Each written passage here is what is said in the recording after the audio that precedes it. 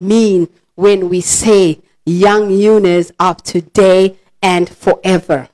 All right, I want to tell you um, a little bit about Dr. Eunor so you can see where you fit in when you say raising young Eunice.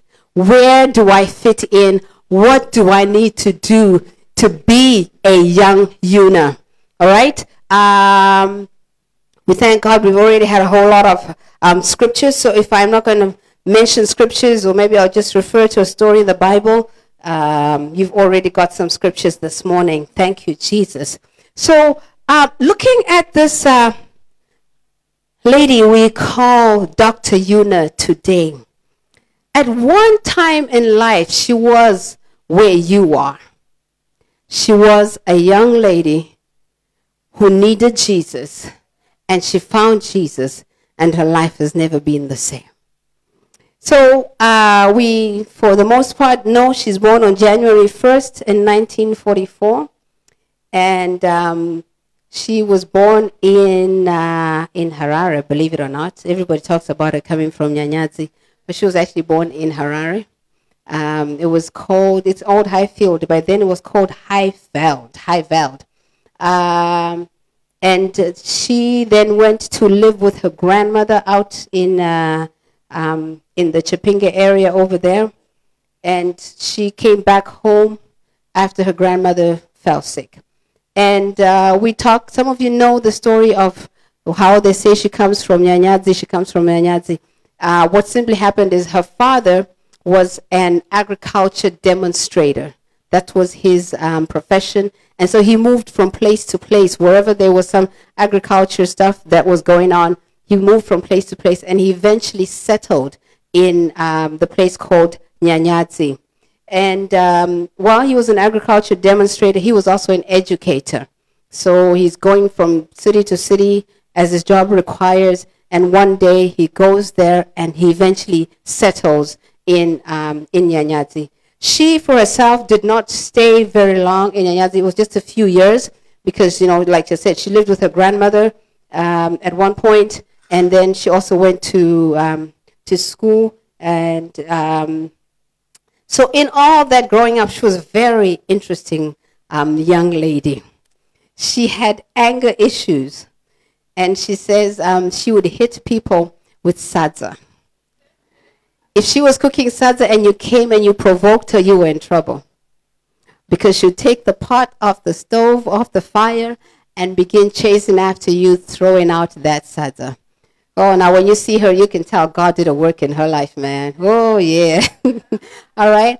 And because of her temper, um, her parents would tell uh, whoever was there at the house, whoever was helping them, that our daughter is coming from school. She has a bad temper. Just stay out of her way. And you know, when you're told that, everybody wants to try and see how bad is it, and then they would do sorts of things, all sorts of things to provoke her, and um, you know, she would end up uh, doing all these things. And um, she says her father would punish her because he was trying to discipline her to make sure she grows up to be um, a, a, a wonderful young lady. And so, as part of her discipline, he would have her carry stones. You know, in Nyanyadzi, it's a very rocky area. There's a lot of stones, rocks around the place. And he would tell her um, if she had done something wrong as part of her punishment when she came from school. Nyanyadzi is a very hot place. Um, and so when I'm talking about Nyanyadzi, I'm talking about Zimbabwe, by the way. Nyanyadzi is in Zimbabwe, Ooh, right?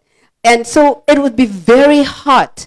And uh, the idea was if she picks up hot stones, surely the message is going to get to her that she needs to get her act together. Right? You and I, maybe we just know about being whipped, um, whether it's a whip or, or their hands. That's what most of us know. But her father, because he was trying so hard to discipline her, um, so he would tell her to carry stones. And um, as, as, as time went by, her father was involved in an accident that caused him, um, he, you know, he was riding his bike and um, the accident caused him to go blind. So, the, but the punishment continues. So now he's blind, and she's told she has to carry 50 stones. So she would bring the 50.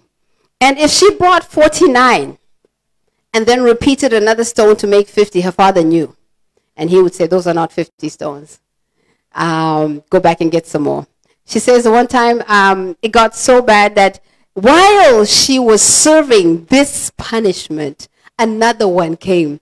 And on that day, she had to um, gather like 200 stones. That's how bad it was. She's, and I look at her and I'm like, thank you, Jesus, for saving her.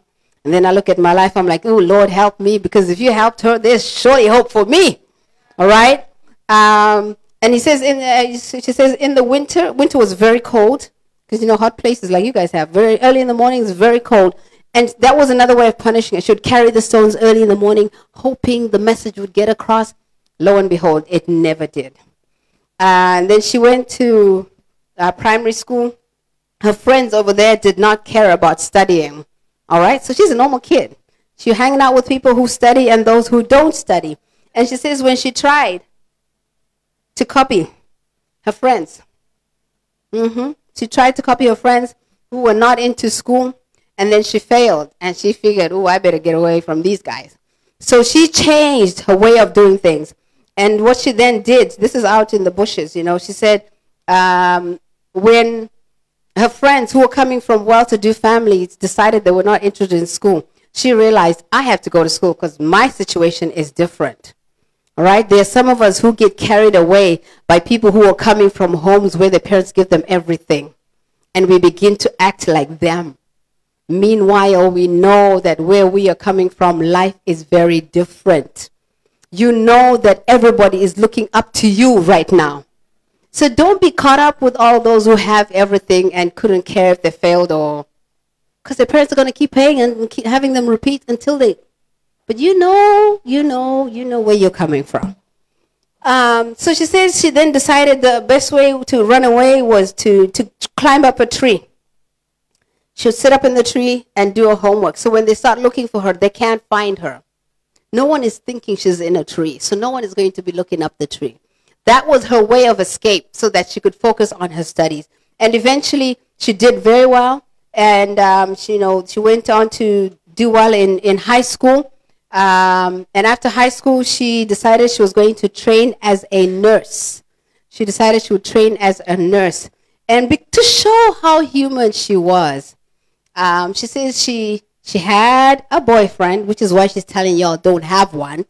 Um, she then her when they finished high school, this is was the agreement. The guy would go and um, study to be a teacher, and after he was done, he would work while she was still training as a nurse.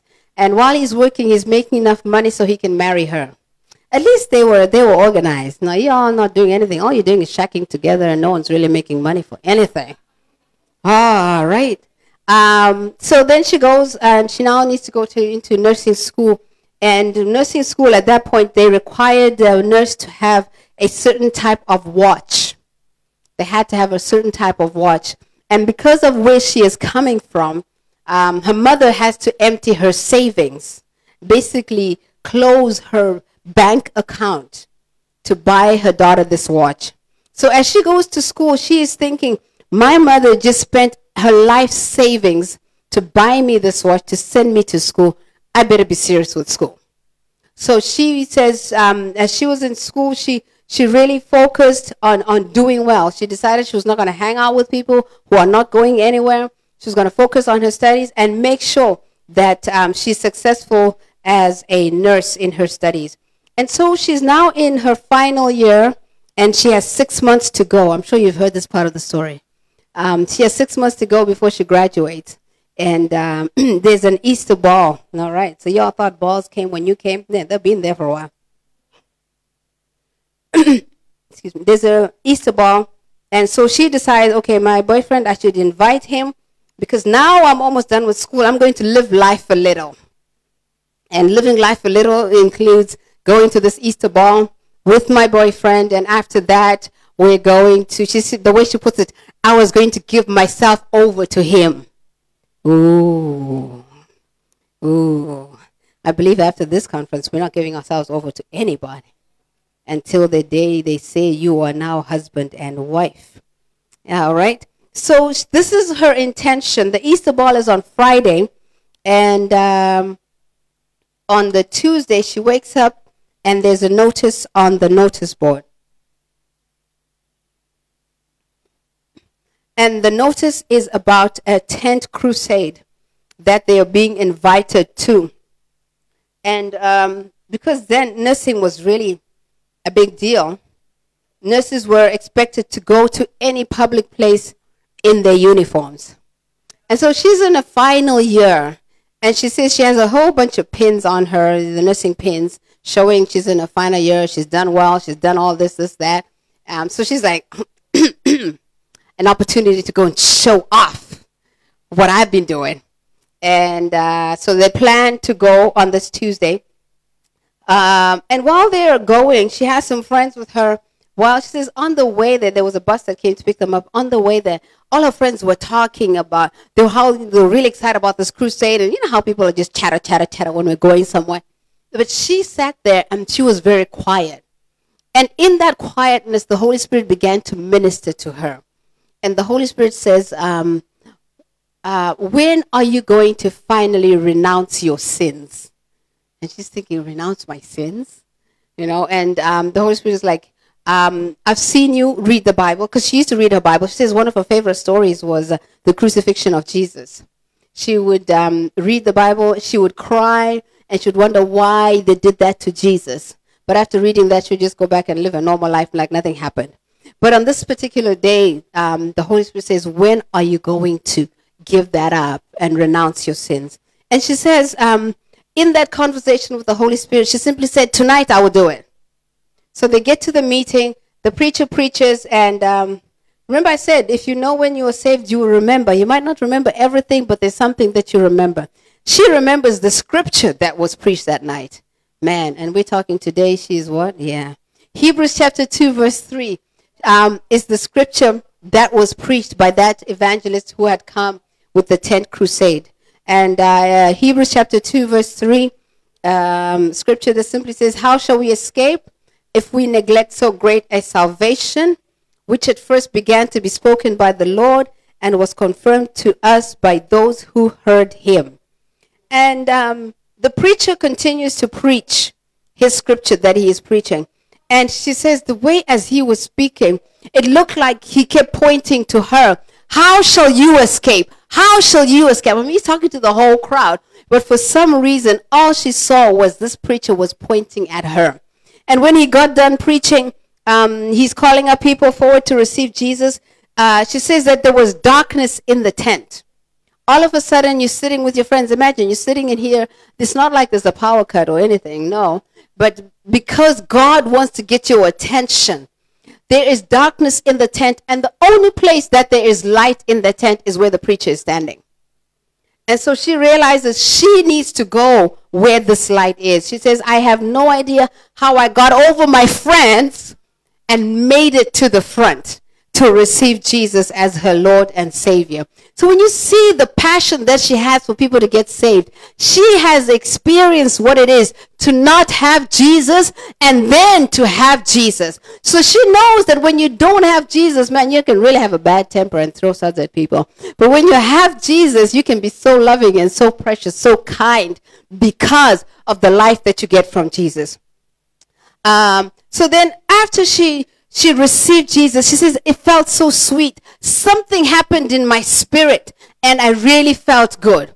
And she goes back to her place where they um, the hospital where they train nurse, nurses and they have the, the, the place where she sleeps. Um, and she, then the Holy Spirit says to her, you have to take care of some business here. Uh, basically like restitution. The Holy Spirit then says to her, she needs to write a letter to her parents and apologize for being such such a nasty kid, for being such a difficult kid. Because now she has received Jesus, she realizes how bad she was. So she writes a letter to her parents, and then she writes a letter to her grandmother, asking her grandmother to forgive her. Because as she was staying with her grandmother, you know how grandkids are. Your grandmother will tell you to do something and you just don't do it. She says there were times she would ask me to do something and I refused to do it. So now the Holy Spirit years later reminds her that she needs to apologize. So she writes this letter to her grandmother asking for forgiveness. Um, as if that was not enough, the Holy Spirit says to her, You took a book from the library when you were in school. Hmm. And, you know, in her mind, she's like, Well, the way I took the book, I was like, You know, my parents are paying fees at the school, so everything in the school belongs to me. Let me just take this book and it's mine. And she just left the school with the book. She just decided she was going to keep it. Um, and no one asked her, so it's okay, right? At that moment, it's okay. No one has asked you. Um, but then the Holy Spirit reminds her that you stole a book when you were still in high school. Uh, so she then finds that book and um, she writes a letter to the principal of that school and asks them to read this letter during assembly so that the whole school can hear and she's telling them that she you know she's been saved. She's asking for forgiveness. And she's saying i stole this book. Uh, i'm going to return it because jesus has changed my life. I'm sure in that assembly um, something must have happened to somebody while others are laughing thinking she's really crazy. Um, other people are thinking wow how could someone do that? You know? Um, and oh man, the Holy Spirit can remind you of things that may not be important when you do them, but when you need to take care of business, they become important. And the Holy Spirit told her that there was a time she used to play netball, hmm, so she was also playing sports. There was a time they were going um, to a place to play um, netball, and she got on the bus and she told the conductor, uh, "My money is at our destination." And I think back in that day, it, it was okay it meant when you get off the bus, you're going to get the money and give the conductor. And um, she got there, got off the bus, never paid. And on the way back, uh, the conductor changed. So in her mind, you know, she's, she's, she's young. She's like, oh, well, this guy doesn't know I didn't pay. It's okay. I'm just going to let it go. And she gets on the bus. She goes back home and does not pay. So the Holy Spirit says to her, you boarded a bus for free. You owe a bus company money. And she says at that point when she had boarded the bus, it was 30 cents. Man, life was good then. 30 cents for the bus ride. Um, but she decided to send a dollar. And um, the bus company had gone out of business. Now, I know if that was me, I would have said, oh, well, Holy Spirit, you know, I was going to try, but, you know, the bus company's gone out of business, so they really don't need the money. You can just forgive me and we move on. But because of what had happened in her spirit, she simply wrote the letter and sent it to the, um, the bus company owner. The owner was still there. The business had broken down, but the owner was still there. And she apologized and said, Forgive me for going on your bus for free. Here is your money. That's when God does a work in your life. He will show you everything that nobody knows about. You know, many times we worry about what people know, but in this case, these are things that nobody else knew about. But because of the work of the Holy Ghost, that was ish. So she went ahead and um, and she did that. So when you see her talking about how lives should change when you have received Jesus as your Lord and Savior, she knows what she has experienced and she wants everybody to make sure that you receive Jesus as your Savior and that you obey what the Holy Ghost is saying in your life. Right? So after she gets saved, um, her parents are thinking this is a joke. Una herself is really saved. Um, that nasty kid is really saved. They're thinking it's going to last for a few days and then she's going to go back to her old self. And lo and behold, it does not end. Up until today, she's been saved from that time. She's been serving Jesus with all her life, everything about her. Um, so she says after that, she's, you know, she's still, um, she finishes her training and she begins to work at, um, at the Harare, Harare Central Hospital. She's working there. And as she's working, part of what she, she does um, is to work with mothers who are nursing their children. She was the one who'd be comforting mothers whose babies had died and um, those kids who were very sick. She was always giving hope to these mothers. You know, in addition to her normal nursing duties, she was because of the compassion that the God had put in her heart, she was doing this outside of her normal nursing duties. Um, she began to preach uh, while she was there, telling people about Jesus. Uh, if God has done a work in your life, you want to tell everybody. If you if if you have not experienced true salvation, you have nothing to talk about. But if you've experienced a change in your life, you want everybody to know what Jesus has done in your life. And you want everyone else to, to get an opportunity to experience it. You want everyone um, to, yeah, to, to just receive Jesus so that they can be rescued from danger, so that they can be delivered from the, uh, from the miserable life that they are living in, the life of um, hard work with no results. But when you receive Jesus, your life begins to change. Um, so she was going ahead and she's preaching. On Sundays, she asked for permission to preach in the hospital. She was on fire. She was on fire. Remember, she is just Eunor Sithole, who is just minding her own business. But she's already on fire. She asked um, for permission at the hospital to preach every Sunday night at 6 p.m. for 30 minutes, preaching to the people, you know, the patients in the hospital. That those were her, her, her, her, church members, if I can say that. She would preach to them and obviously, in that preaching, she's praying for them, for people to get healed. She's praying for them, for people to receive Jesus.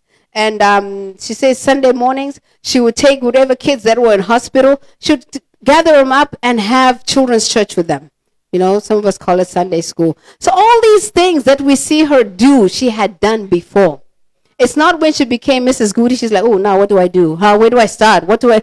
No, it was already in her. So when you're saying raising exceptional young Eunors, what are you saying? Hmm? Are we waiting to become Mrs. Guti so we can then begin to do what we are supposed to do? She's already serving God. At this time, she's serving God. She's not in any leadership position. She's just a child of God. When she got saved, um, her friend then told her that there was a church um, and eventually she ends up going to, to ZAOGA.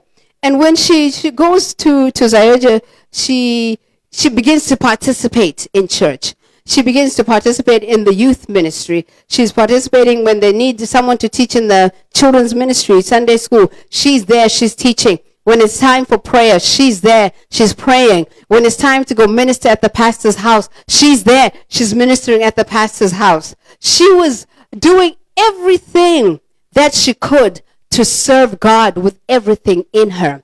She was even praying that God bless me so that I can give my money to do your work. And you know, when you read the, the history book, we're told about a, um, a young lady by the name Eunice Sitole who sponsored the, the birth of the church in Bulawayo in Zimbabwe.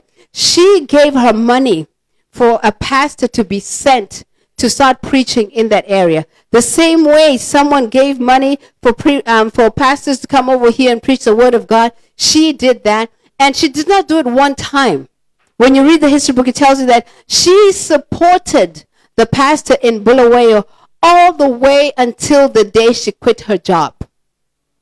So for all the years that she was working, every month, she did not skip a month and say, Well, this month I got to save my money and do what I want. Hey, church people, do whatever you need to do.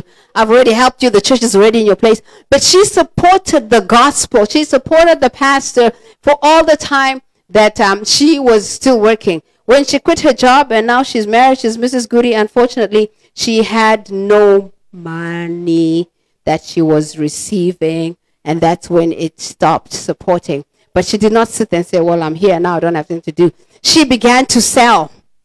You know, when she talks about talent, she's talking about selling, tells you how she started. She would sell potatoes at church on a Sunday. She'd cook potatoes, and I, I, I you know, I keep imagining how was she serving them, but people were buying them.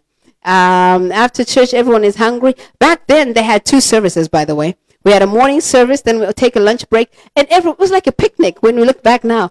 At lunchtime, everybody, you know, everyone goes, spreads out some, um, some cloth, and people sit there, they take out their bags, and people begin to eat their lunch, and we're done, we pack up our stuff, fold up our things, and go back into church at 2 o'clock and have service again. So, yeah, there was room for people to buy potato, because, you know, people really sat down and ate. No, there was no hurry. They wanted to be back in service, but they needed to eat, take care of themselves. All right. So um, as she began to to then be able to um, make money, she's selling. She's able to participate in whatever is going on in church and give to the Lord. Um, so before she gets married, I think that's what we're more interested in, right? Before she gets married, she's um, wherever she was working. She worked in her hospital. She worked at Morgenster um, Hospital, and she says because of the fire of God that was in her, she made such an impact in that place. Um, so much that when she left, it was hard to erase her, her, her name in that place. Whoever came in, no one could match up to what she had done. She says in one place she worked with such um, a very strict, maybe you want to call him difficult uh, medical doctor. He was a senior doctor there, and um, his office was a mess. And everybody kept telling her, "Don't ever touch anything in his office because if you move anything, you're gonna be in trouble." And she says, "I walked in there for a few days. You want to do what everybody's telling you, just leave him alone." But then she says the place looked filthy. It needed to be cleaned up. And so the Holy Ghost, you know, I mean, if you earn a job, you can just say, This has nothing to do with me. After I'm a nurse, I'm not supposed to be able to clean up anything. I'm just a nurse, all right? But because she wanted to be a good kid, she wanted to serve God in whatever ways she could. She went in there and she says the Holy Spirit just told her, You pick up. So she took in a friend and she would pick up the thing and they wipe and put right back where it was. Pick up this, wipe the table, put it right back where it was. That's going to take some love. Because I know I'll be thinking, he wants to live in his mess. Let him live in his mess. I'm just here to do my job. And when the time comes, I'm going to be promoted and move elsewhere or whatever it is. But she wanted to serve God regardless of who it was. So she cleaned up everything and she says she went in some section where there was like an old medicine, stuff that was years old that just needed to be thrown out. She cleaned up the place. The guy came and he was surprised because his stuff is exactly as it has always been but it's clean. And, um, you know, after that, obviously, she becomes the best. She becomes the darling, and everybody wants to be like her. Um, while she's there, are you guys still with me?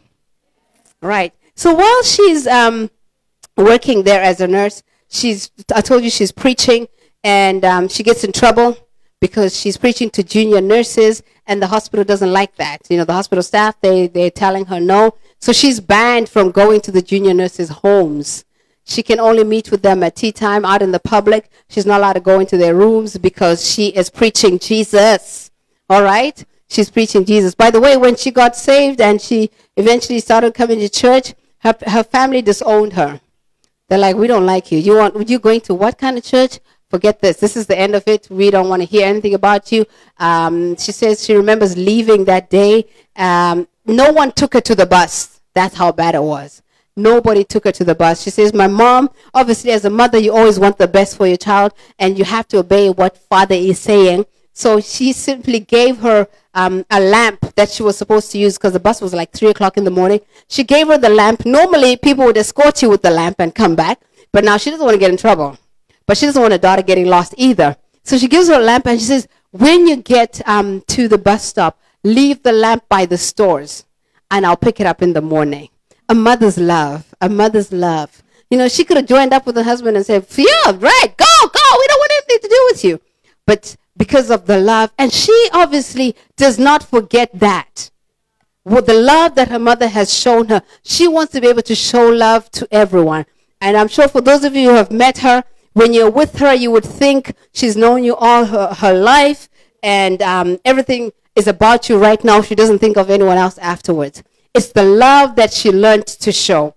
Um, then we were told that she they would be given money. I just thought I need you to see her real life before you see what you see today. Yeah, am I helping someone?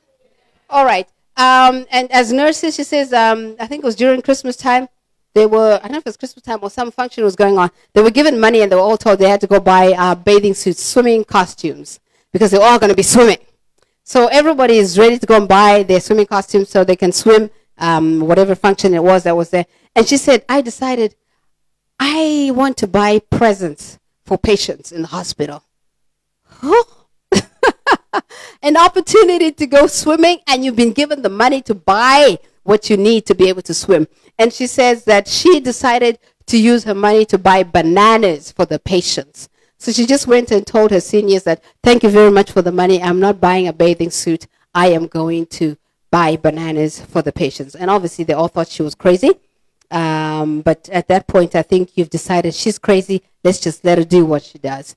Um, she goes, she's at church, she's a Sunday school teacher, she's a youth chairman, she's a choir master, and she belongs to a prayer band. All this before she even knew she was going to marry anyone. Oh, by the way, that story about the guy. Yes. So when she got saved, she also wrote a letter to the guy and said, "Forget it, forget it, forget it. We're done." She had prepared. I forgot to tell you. She had been practicing for the dance. She bought a dress and she'd been practicing for the dance. But when Jesus comes and he turns your life around, it doesn't matter how much money you had spent, how much preparation had gone into it. She quit the whole thing. You know, there's some of us were like, yeah, I received Jesus, but you know what? I'd already paid to go to this show, so I'm just going to go. Ah, and at that show, you backslide. All right. Um, and because she loved to pray so much, um, but then she's she's met Baba, who is uh, the pastor of the church, and she sees how much he loves to do the work of God with his whole heart, and she just continues to serve because that's her thing. She's serving, and it says um, she says one day there was a prayer meeting that Baba was doing with the boys, um, some of the, the, the boys then are, are now bishops in the church, and some of them have actually gone home to be with the Lord. And she says he would pray with um, the ladies, but it was very rare. Baba spent more time praying with the, uh, with the men than he did. But because she was a different woman, she was a different lady, she wanted to be where the action was.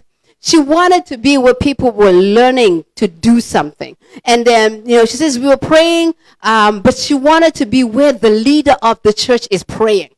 She had seen that obviously there is something in this man, all these people that are following him. So she wanted to be in those kind of prayer meetings where all the guys would be. She was not going to be seen by the guys. She was not going to be a show, but she just wanted to participate in the prayer meetings. And she says, uh, obviously, she was not allowed. But on one day, she took a risk.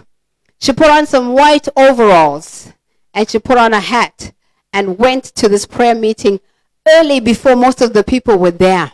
And she got into a corner. So as people come in, I mean, if you're waiting white, wearing white overall and it's a men's place, no one is going to think, who is this? They just think someone has come early and they're praying, right? So she says they were praying and praying. Then Baba was teaching. Um, and then they were praying and praying and praying. And it got to a point where, man, when there's fire in the place, you can't keep whispering and say, Jesus, I love you. You have to then tell Jesus, Woo! All right? so in that, that's when they discovered we have a girl in this place. Because, you know, of this, uh, of the noise she then made, because she was um, uh, on fire as they were praying in that place. All right. So she has loved to pray from day one even today, we all know if you ask all these pastors here, they'll tell you if you go into a prayer meeting with Dr. Eunor, you better have shut down your house because you don't know when you're coming back. And, uh, you know, some of the bishops uh, tell us this that she was like that even then in these prayer meetings when they were praying. They had a prayer band, you know, where it was a bunch of youth that would pray together. And they said that when you started praying with Eunor, you were not going to stop until God spoke. And so, because, you know, because people are human, some began to lie and say, the Lord is saying this, and she picked it up and she's like, uh uh So, in the end, if you wanted to leave, you just picked up your bags and left. She was not shutting down prayer. And even today, I am telling you, I have known her all my life, and a prayer meeting with her, I better have my life together. I better not be cooking dinner because it's going to burn. I better not have told someone, wait for me, I'm coming, because they'll be waiting until, you know, kingdom come. All right? So when she says, let's pray, she means business. She will pray when you go to pastors' prayer meetings. Um, you know, there's some people who come into prayer meeting and they want to greet people. She's serious about her prayer. You will not greet her. But some of us, we kneel down and then we look around and we can say, yeah, she does not do that. So much that even if you want to ask her, if she has anything she'd like to teach, you have to make a prayer. Do I do I go and disturb her? And you know, you know, God is gracious though. Because sometimes you just go and you stand by her and she can tell there's people who are trying to get my attention and then she'll lift up her head. But she's not like you and I, who every time someone walks in and we're in prayer, we're looking up to see who was it. No, she is serious about her prayer life. And she has been serious from day one. And when we see what God is doing in her life, it's not because she is Amai Guti. No. It's because of the foundation that has she has laid in her own life. What is happening today? She's simply walking on what had God had already ordained for her. But he prepared her before the time came. She was reading the Word of God. She can read the Bible until you all think my eyes can't read anymore. She can pray until you all think you fall asleep. You know, I mean, I've been in prayer meetings where I've actually just like, oof, I'm done. And I just fall asleep and I'm like, wake me up when we're done. Because I'm tired. But she will not stop. Even if you go to bed at 2 o'clock in the morning, if she's supposed to get up at 3 o'clock in the morning, she will get up at 3. While you and I are going to say, Holy Ghost, you know we didn't sleep today. So you know what? For today, we will not talk to you. We'll talk to you in our dreams. Yes, when it says watch and pray, we'll be watching our eyelids. All right? Um, because we are tired. But she will be anytime you say this prayer. You know, she, you, you've heard that she, she's in school. And um, then while, she, while classes were going on, some uh, districts were doing their prayer retreats. The women were having prayer retreats. And um, some provinces were also having prayer retreats. So anyway, she then thinks, I need to go and pray. But she has to be in class. And she has to be doing her assignments.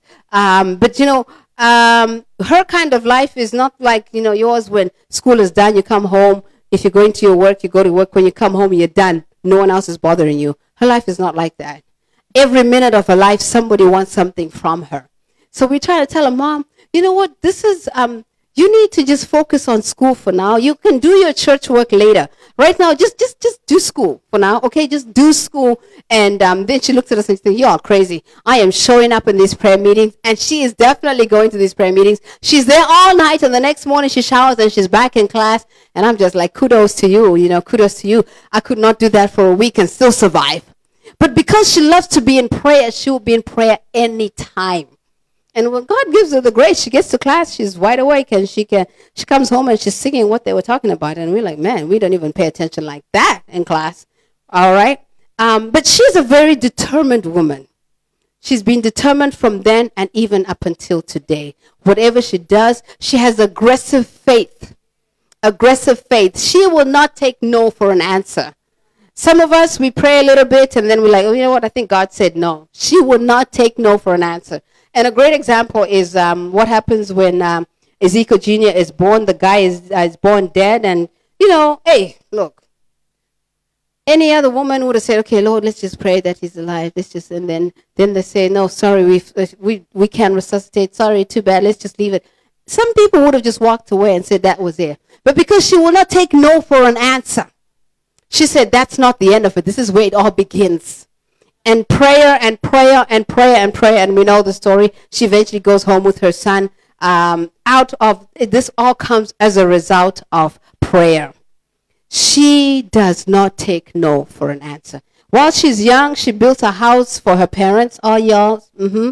while you're making your money, we were told yesterday about the blessing of giving to our parents. When God blesses you, go ahead, make it a, make it one of your to-do lists. That before I get married, I should build my parents a home I should buy my parents this. I should do this. So she builds her parents a home.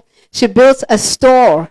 Like, um, so they actually used to have a business. Who, right? That was built by Eunor as she is um, working and taking care of um, her parents.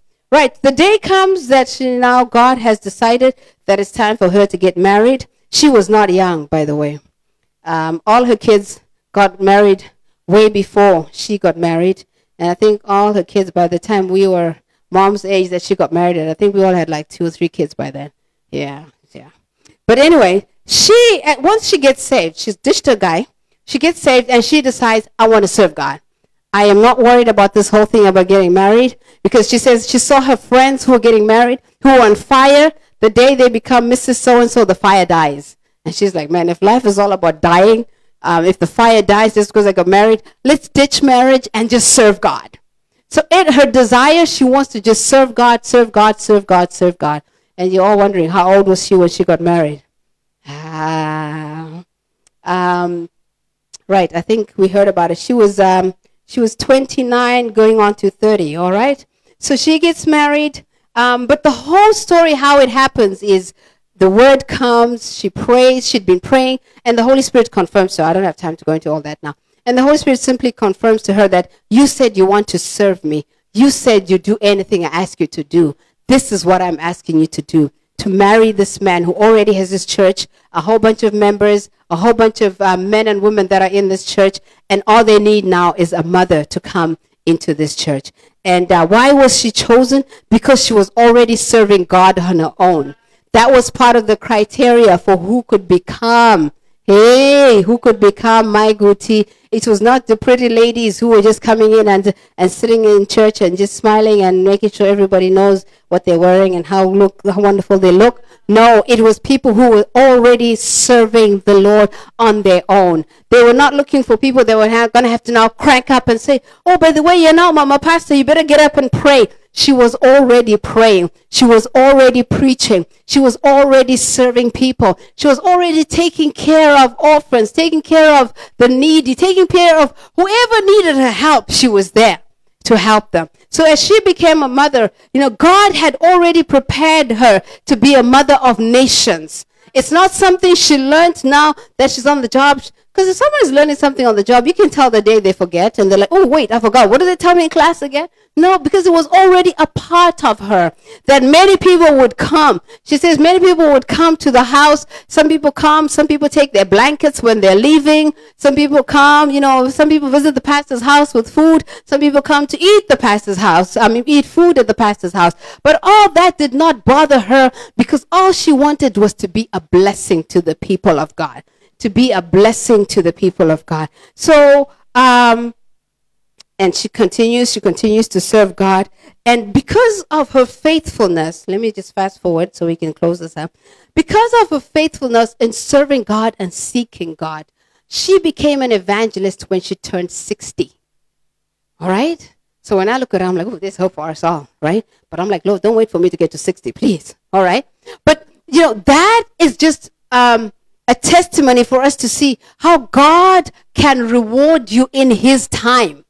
She became a powerful evangelist. I mean, she'd already been preaching, things had been happening, but where she is now out there preaching in stadiums, packed up with people, miracles happening left, right, and center. She is not laying hands on anyone. She is simply speaking the word, and God begins to do wonders in her life. Um, and then some of you have heard about the explo that happened different cities, different nations, filling up stadiums. And um, what was happening is because there was so much power that God had put on her life that is now being manifested. It came out from a lot of time of prayer and reading the word of God. You want to go somewhere in life, get into the word, get into prayer. When you are ready, God is going to release you and you can go and do extraordinary things. You can do exceptional things.